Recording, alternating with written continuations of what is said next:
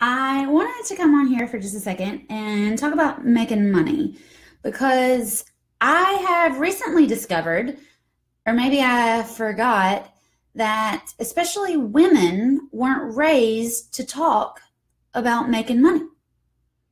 And I have to tell you that I had a complete epiphany in my early 20s because I grew up as a real estate investor's kid. All right. You may or may not know that my mom has always been a real estate investor. My mom has always been a kind of old, slow, boring kind of investor, though, where she'd save some money and then buy a house. And one of the first houses that she bought was a house before she got married to my dad. And then when they got married, they lived in that house. Okay. So then when I came along, the house was fine. But by the time Tyler came along, the house wasn't quite big enough, you know? And a lot of people find themselves in a very similar situation.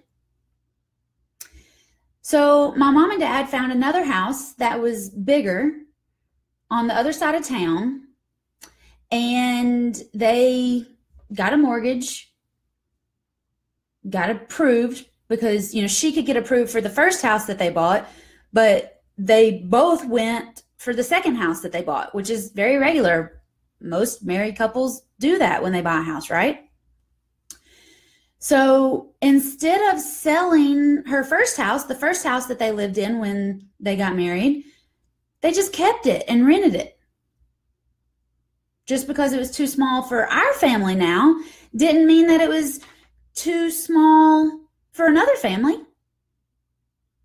And she could find people that would rent it and pay her more than her mortgage was. So she made a little bit of, you know, pocket money every month.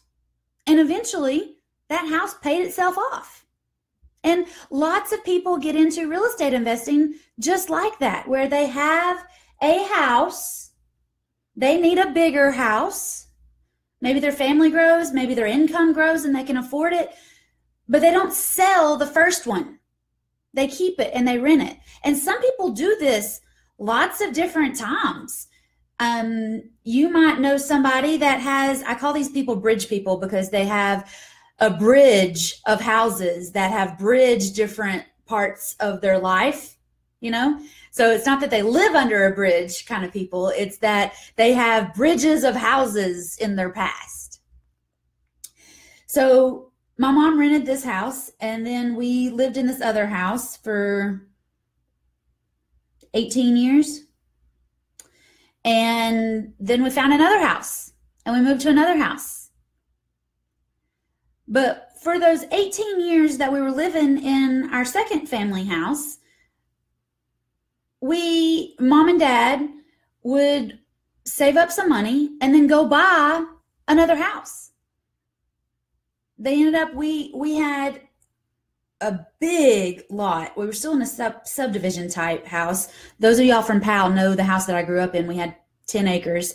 Uh, we had ponies in the backyard. We had a barn in the backyard. Our German Shepherd had a whole acre to himself and some big trees, and it was awesome. Tyler had a dirt bike uh, track in the front yard because mom worked for a dump truck company and we had lots of dirt. So she had a load of dirt.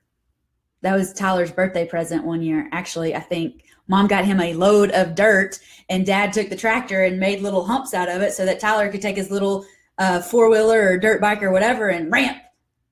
And that's what he got for his birthday was a load of dirt so he could play with his dirt bike. But anyway, we had this huge yard, huge backyard and mom and dad ended up buying, there was a road. So if our house sat here, there was a road that went down like this side of our property and there was houses on that road. Well, mom and dad bought a house right there because it connected kind of where our barn was. And the thought was if we ever needed to get a direct access to the barn, we could just go through their yard and put another gate in the fence and we could be at the barn, right? But they rented that house too. And I say it's the old, boring, slow way of getting into investing because they literally had to buy cars. My dad would buy cars clean them up, and flip the cars, make extra money. And sometimes we use that extra money. They use that extra money for Christmas presents. Sometimes they use that extra money for water heaters. And sometimes we use that extra money to buy rental houses. But they would save up a bunch of money, buy a house, and then when they started renting it, they'd be getting their money back, right? And lots of people think that is the only way to buy houses.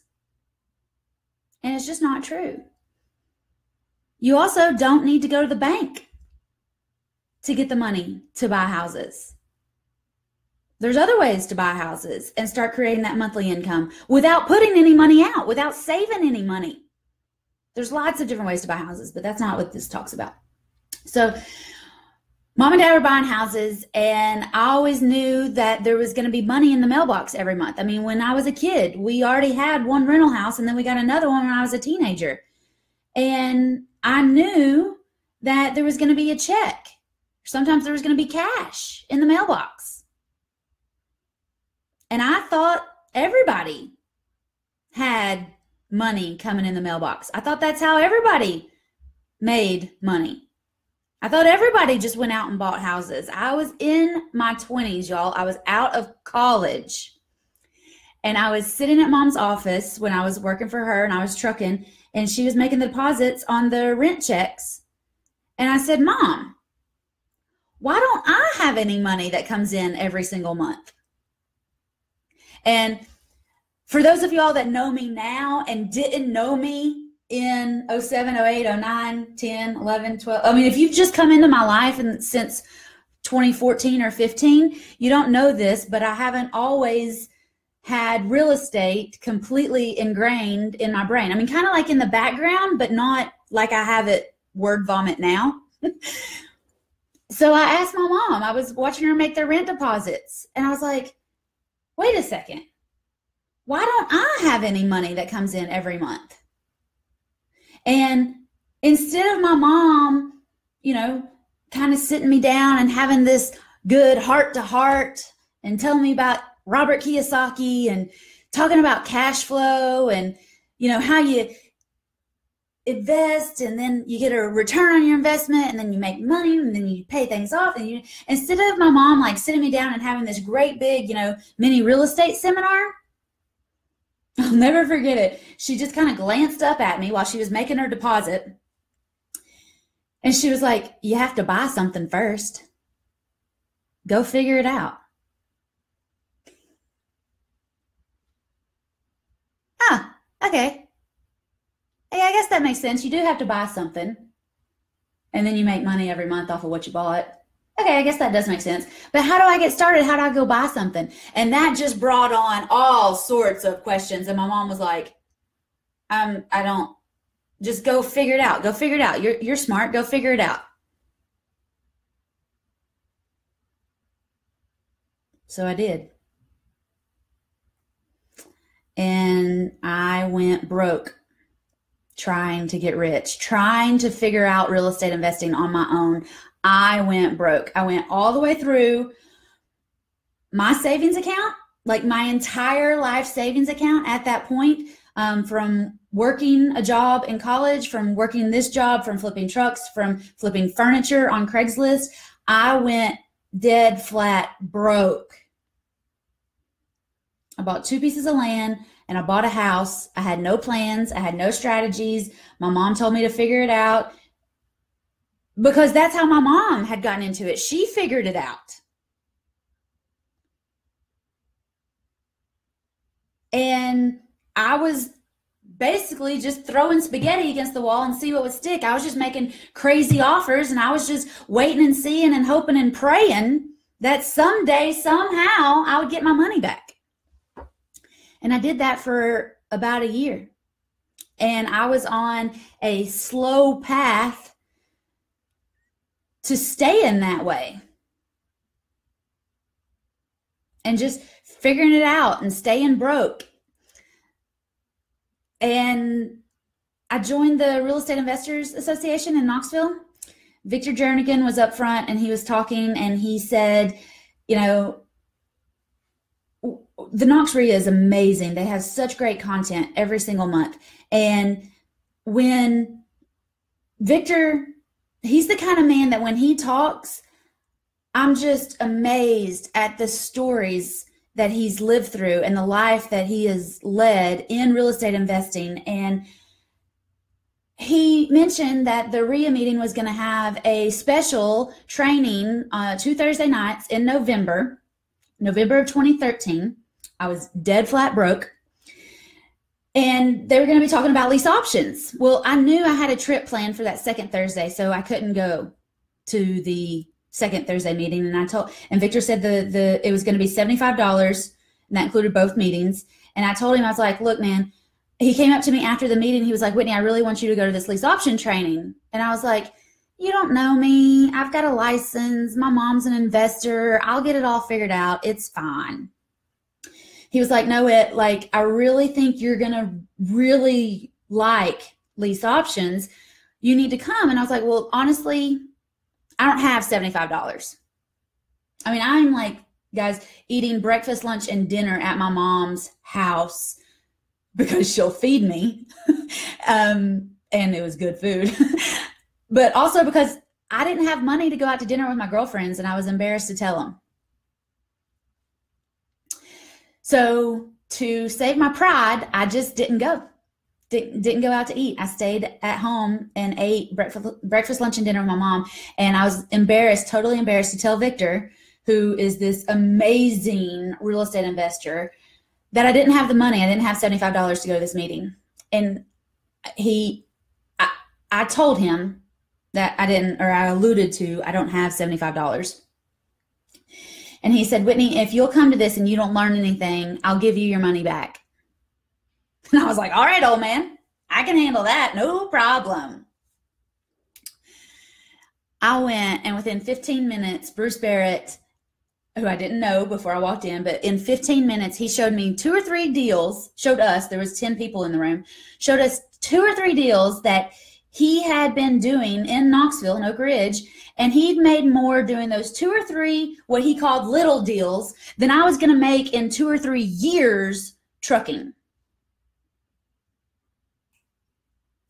And once you learn something, once you're open, once your mind and your life and your heart has been open to the possibilities that are out there that you just don't know about, but that there are people in your world who do know about, you can't shut that back down, or I can't shut that back down.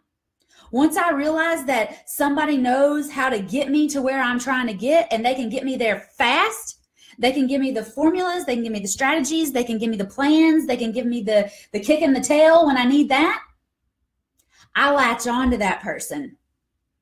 I absorb everything that they can and I do anything and everything pretty much that they tell me to.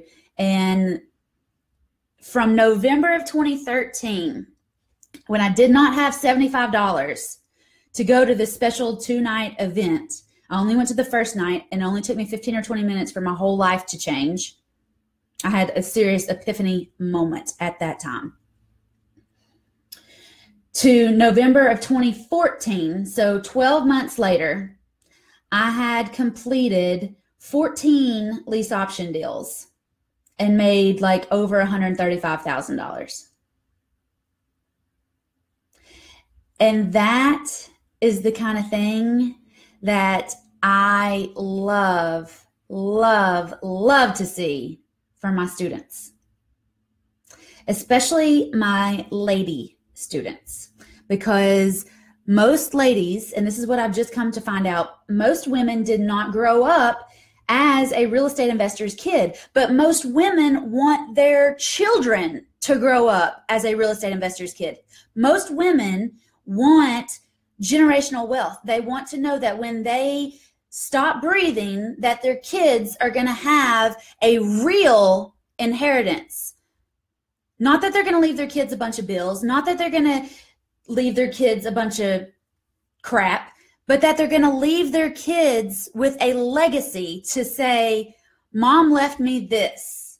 Mom left me with these skills and they want their kids to grow up as a real estate investor's kid.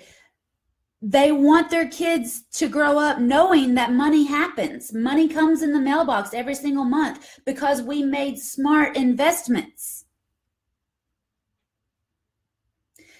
Women want to pour into their children. Every and men too want their kids to grow up better than they grew up.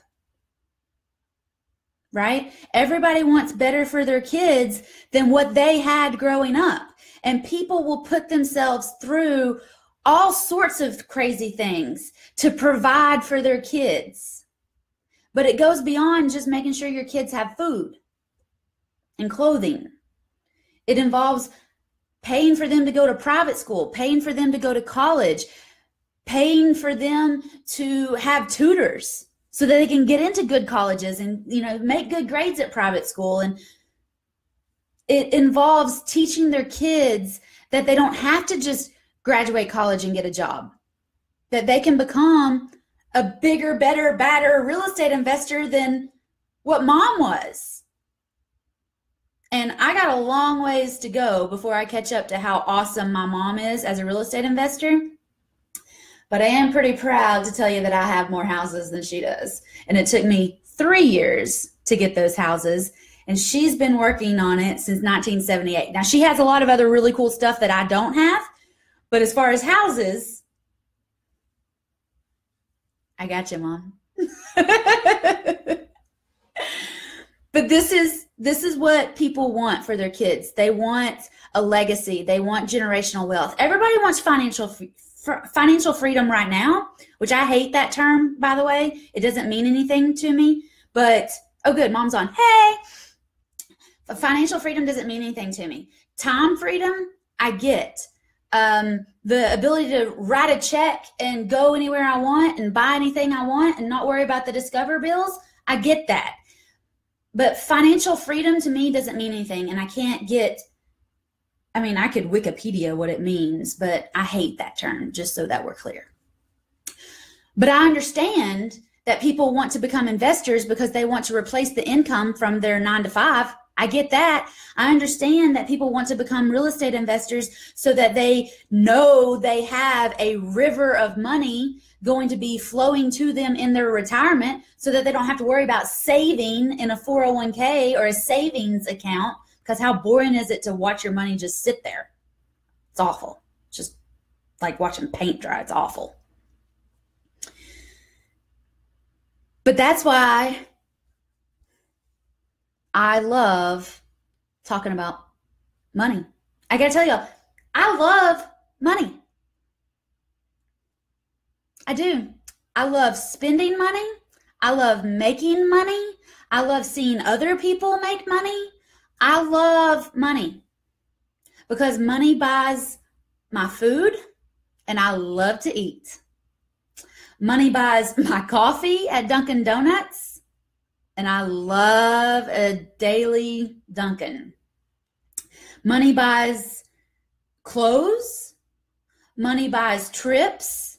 Money money is how I tithe to the church.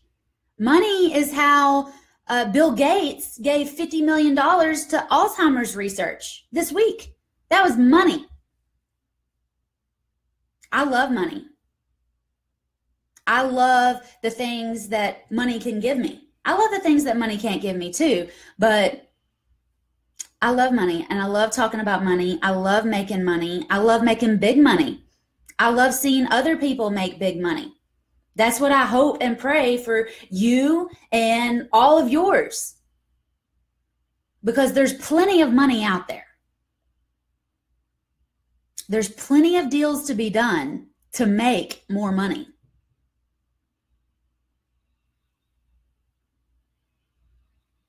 There's plenty of deals to make big money, plenty of deals to make little money, but it takes about the same effort to make big money as it does little money.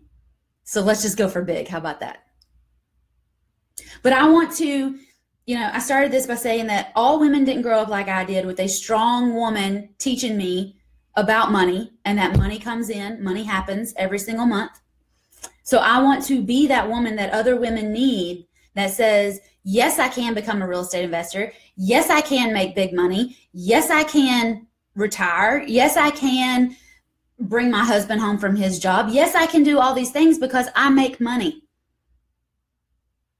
I make deals happen. And ladies, I know that if I can do it, because I'm just a small town girl from East Tennessee, Powell, Tennessee,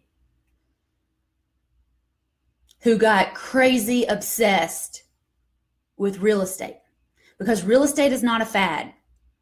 Real estate investing, buying and selling houses, building houses, developing land, buying apartments, all of that is not a fad.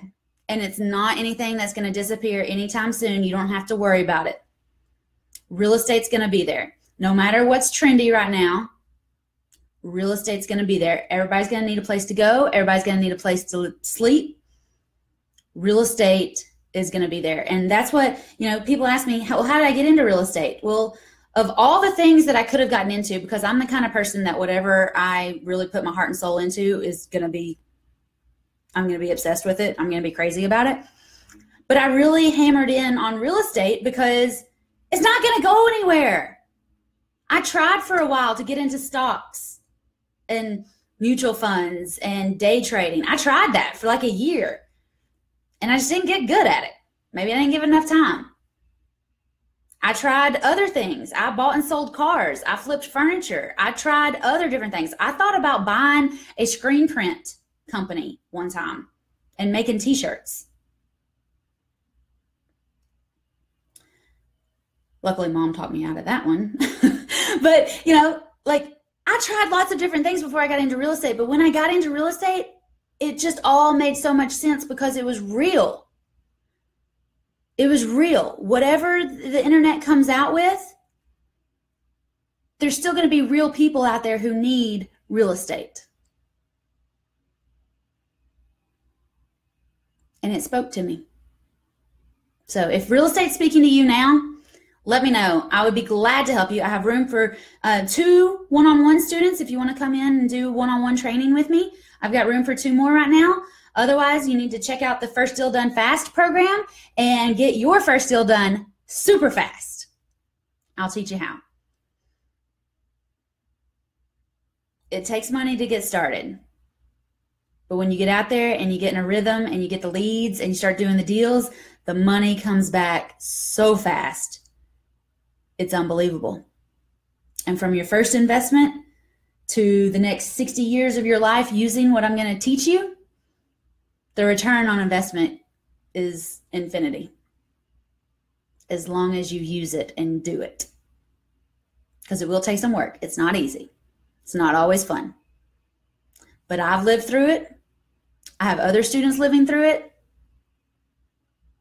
and rising to the occasion every single day. So I know you can do this too. All right. Y'all let me know if you have any questions. I'm going to go grab lunch now. So have a great day. Let me know if you have any questions about anything. And if you need into my group, uh, I'd love to add you into our group so that we can talk all real estate all the time. And go to whitneynicely.com slash group to hang out with me even more. All right. Bye, y'all. Have a great day.